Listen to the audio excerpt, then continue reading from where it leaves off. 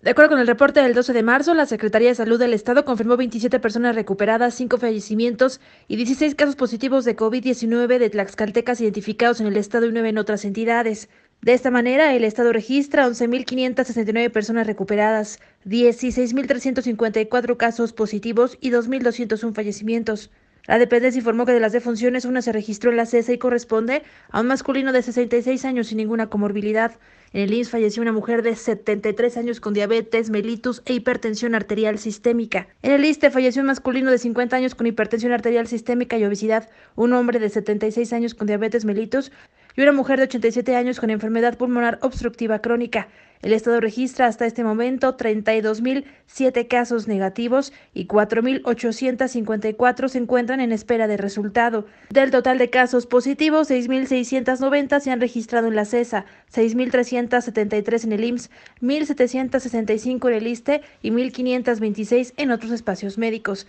Mientras, del total de fallecimientos, 729 se han registrado en la CESA, 1033 en el IMSS, 399 en el ISTE, 12 en otras instituciones, uno en un domicilio particular y 27 en un hospital privado. Hasta este momento, Tlaxcala registra 3041 casos, Apizaco 2011, Chautempan 1099, Huamantla 825, Zacatelco 765 y Auquemecan 554.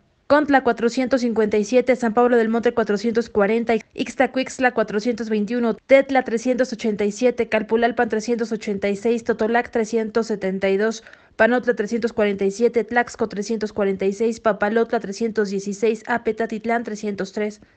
Son Pantepec 291, Santa Cruz Tlaxcala 290, Tolocholco 268, Xalostoc 261, Tepeyanco 214, Nativitas 200, Amajac 184, Xicot 5 170, Tlaltelulco 163, Tepetitla 140, Xaltocan 133, Tenancingo 129, Nanacamilpa 103, Tetlatlauca 99, Terrenate 97, Yometla 96, Tetlanocan 88, Guayotlipan 87, Acuamanala 79, Nopalucan 77, Coajomulco 76, Ixtenco 75, Huaxinco 73, Tequexquitla 72, Tocatlán 70, Xocomanitla 68, Guapiaxtla 59, Zacualpan 52, Alzayanca 50, Xiloxostla 49, San José Tacalco 45, Citlaltepec 44, Texoloc 43, Atlancatepec y Santorum 41, Muñoz de Domingo Arenas y Santa Polonia Tacalco 37, Españita 36, Mazatecoxco y Quileta 32, Tecopilco 26, Lázaro Cárdenas 25, Brito Juárez 21 y Emiliano Zapata 11.